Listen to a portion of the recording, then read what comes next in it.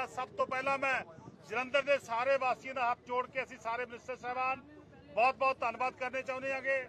ਮੇਰੇ ਨਾਲ ਨੇ ਮੇਰਾ ਛੋਟਾ ਭਰਾ ਹਰਜੋਤ ਬੈਂਸ, ਜਿਨ੍ਹਾਂ ਨੇ ਬੜੇ ਅੱਛੇ ਤਰੀਕੇ ਦੇ ਨਾਲ ਕੰਪੇਨ ਕੀਤੀ। ਔਰ ਉਸ ਤੋਂ ਬਾਅਦ ਕੁਲਦੀਪ ਢਾਲੀਵਾਲ ਜੀ, ਜਿੰਪਾ ਸਾਹਿਬ, ਬ੍ਰਹਮਸ਼ੰਕਰ ਜਿੰਪਾ ਜੀ, ਹਰਭਜਨ ਸਿੰਘ ਈਟੀਓ ਸਾਹਿਬਾਨ, ਔਰ ਮੇਰਾ ਸਭ ਤੋਂ ਛੋਟਾ ਭਰਾ ਸ਼ਸ਼ੀ ਰਿੰਕੂ ਜੀ, ਜਿਨ੍ਹਾਂ ਨੇ ਬੜੀ ਜਾਨਦਾਰ, ਬੜੇ ਜ਼ੋਰ ਲਾ ਕੇ ਜ਼ਬਰਦਸਤ ਤਰੀਕੇ ਨਾਲ ਮਿਹਨਤ ਕੀਤੀ।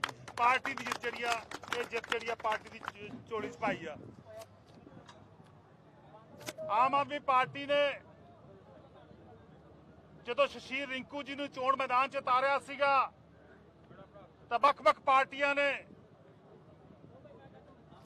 ਆਪਣੇ ਲੈਵਲ ਦੇ ਉੱਤੇ ਬੜੇ ਦੋਸ਼ ਵੀ ਲਾਏ, ਘਟੀਆ ਰਾਜਨੀਤੀ ਕਰਨ ਦੀ ਕੋਸ਼ਿਸ਼ ਵੀ ਕੀਤੀ, ਪਰ ਲੇਕਿਨ ਜਲੰਧਰ ਵਾਸੀਆਂ ਨੇ ਪਿਆਰ ਸਤਕਾਰ ਦਾ ਸਬੂਤ ਦਿੱਤਾ, ਜੋ ਗਰੰਟੀਆਂ ਆਮ ਆਦਮੀ ਪਾਰਟੀ ਨੇ 2022 ਦੀ ਇਲੈਕਸ਼ਨ ਦੇ ਵਿੱਚ ਸਾਡੇ ਸੁਪਰੀਮੋ ਅਰਵਿੰਦ ਕੇਜਰੀਵਾਲ ਜੀ ਨੇ ਪੰਜਾਬ ਦੇ ਮਾਨਯੋਗ ਮੁੱਖ ਮੰਤਰੀ ਸਰਦਾਰ ਭਗਵੰਤ ਸਿੰਘ ਮਾਨ ਨੇ ਦਿੱਤੀਆਂ ਸੀ। ਉਹ ਸਾਰੀਆਂ ਗਰੰਟੀਆਂ ਕੀ ਕਰਕੇ ਜਿਹੜੀਆਂ ਅਸੀਂ ਪੂਰੀਆਂ ਕਰ ਰਹੇ ਹਾਂ, ਉਹਨਾਂ ਸਾਰੀਆਂ ਗਰੰਟੀਆਂ ਦੇ ਉੱਤੇ ਪੰਜਾਬ ਦੇ ਲੋਕਾਂ ਨੇ, ਖਾਸ ਕਰਕੇ ਜਲੰਧਰ ਦੇ ਲੋਕਾਂ ਨੇ ਮੋ-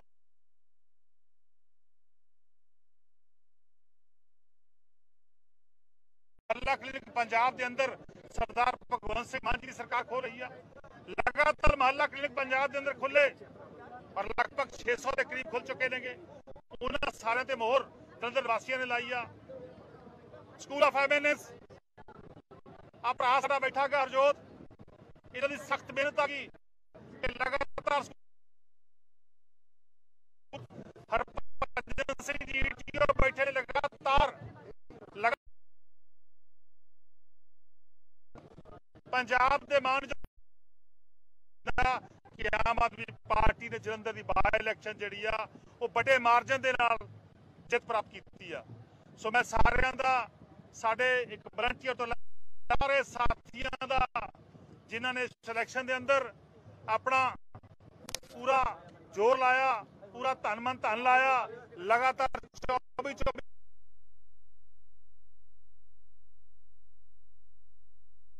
ਸੋ ਅੱਜ ਇਸ ਜਿੱਤ ਦੇ ਲਈ ਕੱਲਾ ਕੱਲਾ ਜਿਹੜਾ ਜਲੰਧਰ ਵਾਸੀ ਆ ਉਹ ਤਹਿ ਦਿਲੋਂ ਦਾ ਬਹੁਤ ਬਹੁਤ ਧੰਨਵਾਦ।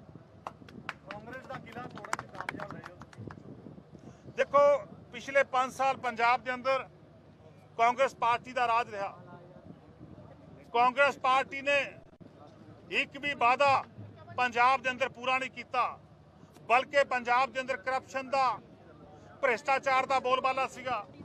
ਸਰਦਾਰ ਭਗਵੰਤ ਸਿੰਘ ਮਾਨ ਜੀ ਲਗਾਤਾਰ ਉਸ ਭ੍ਰਿਸ਼ਟਾਚਾਰ ਨੂੰ ਖਤਮ ਕਰਨ ਦੇ ਲਈ, ਲਗਾਤਾਰ ਉਸ ਕਰਪਸ਼ਨ ਨੂੰ ਖਤਮ ਕਰਨ ਲਈ ਆ ਸਾਡੇ ਸਾਰੇ ਸਾਥੀਆਂ ਨੂੰ ਲੈ ਕੇ ਜ਼ੋਰਦਾਰ ਯਤਨ ਕਰ ਰਹੇ ਨੇਗੇ। ਭਰਾ ਮੇਰੇ ਬੈਠੇ ਨੇਗੇ, ਧਾਲੀਵਾਲ ਸਾਹਿਬ, ਜਿਨ੍ਹਾਂ ਲੋਕਾਂ ਨੇ ਪੰਜਾਬ ਦੀ ਹਜ਼ਾਰਾਂ ਏਕੜ ਜ਼ਮੀਨ ਦੱਬੀ ਸੀਗੀ। ਇਹ ਕਾਂਗਰਸੀ ਵੀ ਛੜਾ ਸਕਦੇ ਸੀ ਅਕਾਲੀ ਦਲ ਵਾਲੇ ਵੀ ਛੜਾ ਸਕਦੇ ਸੀ ਉਹਨਾਂ ਦੀ ਸਰਕਾਰ ਰਹੀ ਆ। ਇਹ ਸਾਡੇ ਭਰਾ ਨੇ ਛੜਾਈ ਆ ਪੂਰੀ ਮਿਹਨਤ ਦੇ ਨਾਲ ਛੜਾਈ ਆ। ਹਜ਼ਾਰਾਂ ਏਕੜ ਜਿਹੜੀ ਜ਼ਮੀਨ ਆ ਪੰਜਾਬ ਚੋਂ ਛੱਡੀ ਗਈ ਛੜਾਈ ਗਈ। ਇਹਦਾ ਮਤਲਬ ਕੀ ਆ ਕਿ ਉਹ ਪੈਸਾ ਸਾਰਾ ਪੰਜਾਬ ਦੇ ਖਜ਼ਾਨੇ ਚ ਆਊਗਾ।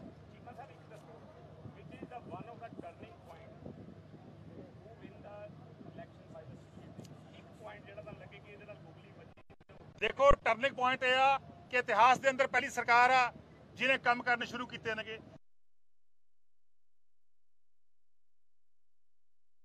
ਇਤਿਹਾਸਕ ਤੌਰ ਤੇ ਸਰਕਾਰਾਂ ਆਉਂਦੀਆਂ ਰਹੀਆਂ ਨੇਗੀਆਂ।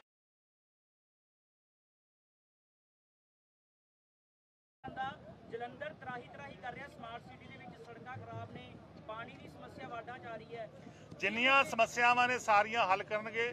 ਸਾਡਾ ਛੋਟਾ ਭਰਾ ਬੜਾ ਤਾਕਤਵਰ ਆ ਬੜਾ ਇੰਟੈਲੀਜੈਂਟ ਆ ਬੜਾ ਅਗਾਂਹ ਵਧੂ ਆ ਸਾਰੇ ਮਸਲਿਆਂ ਦਾ ਹੱਲ ਕਰੂਗਾ। ਸਾਹਿਬ ਜੋ ਸਿੰਘ ਮੀਡੀਆ ਸਿੱਧੂ ਵੱਲੋਂ ਬਹੁਤ ਕੈਂਪੇਨ ਕੀਤੀ ਗਈ ਸੀ ਬਹੁਤ ਸਾਰੇ ਨਿਸ਼ਾਨੇ ਭ੍ਰਸ਼ਟਾਚਾਰ ਦੇ ਵੀ ਸਾਧੇ ਗਏ ਸੀ ਕਿ ਦੇਖੋ ਜਿਹੜੇ ਬੰਦੇ ਕੋਈ ਜੇਲ੍ਹਾਂ ਚੋਂ ਜੇਲ੍ਹ 'ਚ ਕੱਟ ਕੇ ਆਇਆ ਕੋਈ ਭ੍ਰਿਸ਼ਟਾਚਾਰ ਦੇ ਅੰਦਰ ਕੱਟ ਕੇ ਆਇਆ ਕੋਈ ਲੋਕਾਂ ਨੂੰ ਜੇਲ੍ਹ ਚੋਂ ਕੁੱਟਣ ਦੇ ਅੰਦਰ ਕੱਟ ਕੇ ਆਇਆ ਉਹ ਲੋਕਾਂ ਨੂੰ ਸੋਭਾ ਨਹੀਂ ਦਿੱਤਾ ਸੀ ਕਿ ਕੰਪੇਨ ਕਰਨ।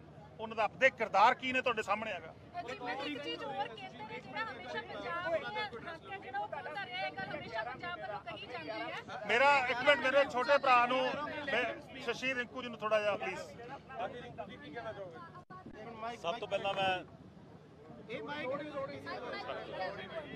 ਜਲੰਧਰ ਦੇ ਸਾਰੇ ਹੀ ਵੋਟਰ ਸਾਥੀਆਂ ਦਾ ਬਹੁਤ-ਬਹੁਤ ਦਿਲ ਦੀ ਗਹਿਰਾਈਆਂ ਤੋਂ ਧੰਨਵਾਦ ਕਰਨਾ ਚਾਹਨਾ ਕਿ ਜਿਨ੍ਹਾਂ ਨੇ ਐਡਾ ਵੱਡਾ ਫਤਵਾ ਜਿਹੜਾ ਅੱਜ ਆਮ ਆਦਮੀ ਪਾਰਟੀ ਦੇ ਹੱਕ ਦੇ ਵਿੱਚ ਦਿੱਤਾ ਔਰ ਖਾਸ ਕਰਕੇ ਉਹਨਾਂ ਆਪਣੇ ਵਲੰਟੀਅਰ ਸਾਥੀਆਂ ਦਾ ਉਹਨਾਂ ਲੀਡਰ ਸਾਹਿਬਾਨਾਂ ਦਾ ਜਿਨ੍ਹਾਂ ਨੇ ਦਿਨ ਰਾਤ ਇੱਕ ਕਰਕੇ ਪਾਰਟੀ ਦੇ ਲਈ ਕੈਂਪੇਨ ਕੀਤੀ ਔਰ ਪਾਰਟੀ ਨੂੰ ਇੱਕ ਵੱਡੀ ਜਿੱਤ ਦਵਾਈ। ਉਹਨਾਂ ਸਾਰੇ ਭਰਾਵਾਂ ਦਾ ਸਾਰੇ ਸਾਥੀਆਂ ਦਾ ਬਹੁਤ-ਬਹੁਤ ਧੰਨਵਾਦ ਕਰਨਾ ਚਾਹੁੰਦਾ। ਇੱਕ minute let him complete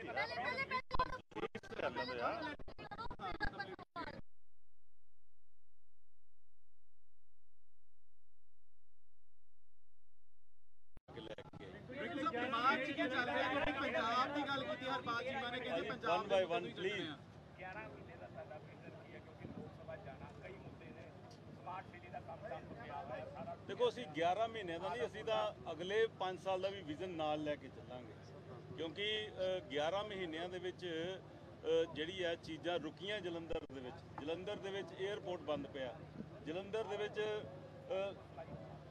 Jalandhar ਦੇ ਵਿੱਚ 에ਅਰਪੋਰਟ ਬੰਦ ਪਿਆ, ਜਲੰਧਰ ਦੇ ਵਿੱਚ ਸੜਕਾਂ ਬੰਦ ਪਈਆਂ।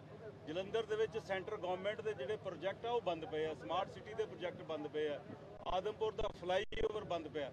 ਸੋ ਮੇਰੀ ਪ੍ਰਾਇੋਰਟੀ ਹੋਏਗੀ ਕਿ ਅਸੀਂ ਇਹਨਾਂ ਕੰਮਾਂ ਨੂੰ ਜਿਹੜੇ ਬੰਦ ਪਏ ਆ, ਇਹਨਾਂ ਨੂੰ ਜਲਦੀ ਸ਼ੁਰੂ ਕਰਵਾ ਕੇ ਲੋਕਾਂ ਨੂੰ ਰਾਹਤ ਦੇ ਸਕੀਏ। ਅੱਛਾ, ਵਿਧਾਨ ਸਭਾ 'ਚ ਤੁਹਾਨੂੰ ਘੱਟ ਬੋਲਦਿਆਂ ਦੇਖਿਆ। ਜਿਵੇਂ ਹਰਪਾਲ ਜੀ ਕਹਿੰਦੇ ਨੇ ਕਿ ਤੁਸੀਂ ਪਾਰਲੀਮੈਂਟ ਜਾਓਗੇ ਤੇ ਤੁਸੀਂ ਬੋਲੋਗੇ ਤੇ ਕੀ ਤੁਸੀਂ ਖਾਸ ਤਿਆਰੀ ਕਰੋਗੇ ਕਿਉਂਕਿ ਪਿਛਲੇ ਅ, ਜਦੋਂ ਤੁਸੀਂ ਵਿਧਾਨ ਸਭਾ 'ਚ ਹੁੰਦੇ ਆ ਤਾਂ ਅਸੀਂ ਤੁਹਾਨੂੰ ਬਹੁਤ ਘੱਟ ਸੁਣਦੇ ਰਹੇ ਹਾਂ। ਦੇਖੋ ਗੱਲ ਹੈ ਕਿ ਅੱਜ ਸਮੱਸਿਆਵਾਂ ਬਹੁਤ ਹੈ ਜਲੰਧਰ ਸ਼ਹਿਰ ਨੂੰ ਲੈ ਕੇ ਔਰ ਪੰਜਾਬ ਨੂੰ ਲੈ ਕੇ। ਸੋ ਮੇਰੀ ਕੋਸ਼ਿਸ਼ ਹੋਏਗੀ ਕਿ ਕੇਂਦਰ ਦੇ ਸਰਕਾਰ ਦੇ ਵਿੱਚ ਆਪਣੇ ਸ਼ਹਿਰ ਦੇ ਔਰ ਪੰਜਾਬ ਦੇ ਮੁੱਦੇ ਲੈ ਕੇ ਜਾਵਾਂ ਤਾਂ ਕਿ ਉਹਨਾਂ ਦਾ ਜਿਹੜਾ ਕੋਈ ਵਾਜਬ ਹੱਲ ਹੈ ਜਿਹੜਾ ਅਸੀਂ ਕਰਵਾ ਸਕੀਏ। ਕਿਸ ਤਰ੍ਹਾਂ ਕੋਆਰਡੀਨੇਸ਼ਨ ਕਰੋਗੇ ਸੈਂਟਰ ਦੇ ਨਾਲ? ਤੁਸੀਂ ਕਿਉਂਕਿ ਸੈਂਟਰ ਦੇ ਵਿੱਚ ਬੀਜੇਪੀ ਦੀ ਗਵਰਨਮੈਂਟ ਹੈਗੀ ਹੈ ਉਹਦੀ ਕੋਈ ਕੁਐਰੀ ਕਰਾਓਗੇ ਉਸ ਤੋਂ ਬਾਅਦ? ਕਿਸ ਤਰ੍ਹਾਂ ਲੱਗ ਜਾਓ ਹਾਂਜੀ ਸੈਂਟਰ ਦੀ ਗਵਰਨਮੈਂਟ ਹੈਗੀ ਹੈ ਕਿੱਦਾਂ ਕੋਆਰਡੀਨੇਟ ਕਰੋਗੇ ਦੇਖੋ ਕੋਆਰਡੀਨੇਟ ਹੈ ਜਿਹੜਾ ਉਹ ਤਾਂ ਜਦੋਂ ਅਸੀਂ ਜਾਵਾਂਗੇ ਗੱਲ ਕਰਾਂਗੇ ਕੋਆਰਡੀਨੇਸ਼ਨ ਵੀ ਹੋਏਗੀ ਵੱਖ-ਵੱਖ ਡਿਪਾਰਟਮੈਂਟਾਂ ਦੇ ਜਿਹੜੇ ਮਹਿਕਮੇ ਉਹਨਾਂ ਨਾਲ ਗੱਲ ਵੀ ਕਰਾਂਗੇ ਔਰ ਜਿਹੜੀ ਆਵਾਜ਼ ਹੈ ਲੋਕ ਸਭਾ ਦੇ ਵਿੱਚ ਉਹ ਆਪਣੇ ਜਲੰਧਰ ਦੀ ਜ਼ਰੂਰ ਉਠਾਵਾਂਗੇ। ਹਰਪਾਲ ਜੀ ਤੁਹਾਡੇ ਸਿਰ ਬੜੀ ਵੱਡੀ ਜ਼ਿੰਮੇਵਾਰੀ ਸਿਰ ਬੱਚੀ ਤੁਹਾਨੂੰ ਲੱਗਦਾ ਹੈ ਕਿ ਅ, ਜਿੱਤ ਤੋਂ ਬਾਅਦ ਤੁਹਾਨੂੰ ਥੋੜੀ ਜਿਹੀ ਰਾਹਤ ਮਿਲ ਗਈ ਕਿਉਂਕਿ ਬਹੁਤ ਧੜਕੂ ਸੀਗਾ ਵੀ ਕੀ ਹੋਏਗਾ ਕਿਉਂਕਿ ਰਿਜ਼ਲਟ ਤਾਂ obvious ਦੇਖੋ। ਰਾਹਤ ਨਹੀਂ ਮੈਂ ਸਮਝਦਾ ਜ਼ਿੰਮੇਵਾਰੀ ਜਿਹੜੀ ਆ ਉਹ ਹੋਰ ਵਧੀਆ ਸਾਡਾ ਭਰਾ ਗਿਆ ਹੈਗਾ ਅਸੀਂ ਸਾਰੇ ਇਕਜੁੱਟ ਹੋ ਕੇ, ਇਕੱਠੇ ਹੋ ਕੇ ਕੰਮ ਕਰਾਂਗੇ। ਸੈਂਟਰ ਦੇ ਅੰਦਰ ਸ਼ਸ਼ੀ ਰਿੰਕੂ ਜੀ ਕੰਮ ਕਰਨਗੇ, ਦੇਸ਼ ਦੀ ਪਾਰਲੀਮੈਂਟ ਦੇ ਅੰਦਰ ਇਹ ਮੁੱਦੇ ਕਰਨਗੇ ਔਰ ਜਿਹੜੇ ਸਟੇਟ ਦੇ ਹੋਣਗੇ, ਉਹ ਸਾਡੀ ਸਾਰੀ ਟੀਮ ਬੈਠੀ ਆ। ਸਰਦਾਰ ਭਗਵੰਤ ਸਿੰਘ ਜੀ ਬੈਠੇ ਨੇ, ਮਾਨ ਸਾਹਿਬ ਬੈਠੇ ਨੇ, ਸਮੁੱਚੀ ਸਾਡੀ ਪਾਰਟੀ ਦੇ ਅਹੁਦੇਦਾਰ ਸਾਹਿਬ ਬੈਠੇ ਬੈਠੇ ਨੇਗੇ। ਇਹ ਸਾਰੇ ਅਸੀਂ ਮਿਲ ਕੇ ਕੰਮ ਕਰਾਂਗੇ। ਮੈਂ ਸਮਝਦਾ ਜ਼ਿੰਮੇਵਾਰੀ ਹਮੇਸ਼ਾ ਲਗਾਤਾਰ ਵੱਧਦੀ ਹੈ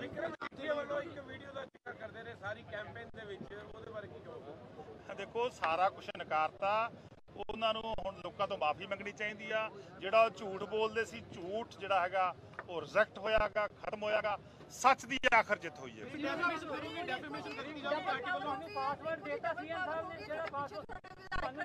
ਕੱਲਾ ਕੱਲਾ ਕਰ ਲਈਏ। ਮਿਲ ਜੂਗਾ। ਜਿਹੜਾ ਸੀਐਮ ਦੇ ਕੋਲੋਂ ਜਿਹੜੀ ਪੈਸੇ ਲੈ ਕੇ ਆਪਣੇ ਖਿਲਾਫ ਬੋਲਦੇ ਨਜ਼ਰ ਆਉਂਦੇ ਪਾਸਵਰਡ ਮਿਲ ਗਿਆ ਤੁਹਾਨੂੰ। ਤੁਸੀਂ ਕਹਿੰਦੇ ਸੀ ਸਿਆਸਤ ਨਹੀਂ ਕਰਨੀ ਚਾਹੀਦੀ। ਹੁਣ ਕੀ ਕਹੋਗੇ? ਹੁਣ ਜਿੱਤ ਮਿਲ ਗਈ। ਦੇਖੋ ਸਾਰੇ ਜਿੰਨੇ ਸਾਡੇ ਵਿਰੋਧੀਆਂ ਨੇ ਆ ਕੇ ਇੱਥੇ ਪ੍ਰਚਾਰ ਕੀਤਾ ਜਲੰਧਰ ਦੇ ਨਿਵਾਸੀਆਂ ਨੇ ਆ ਸਾਡੇ ਛੋਟੇ ਭਰਾ ਨੂੰ ਜਿਤਾ ਕੇ ਦੇਸ਼ ਦੀ ਪਾਰਲੀਮੈਂਟ 'ਚ ਭੇਜਦਾ ਇਹਦਾ ਜਵਾਬ ਜਿਹੜਾ ਉਹ ਦੇ ਦਿੱਤਾ। Thank you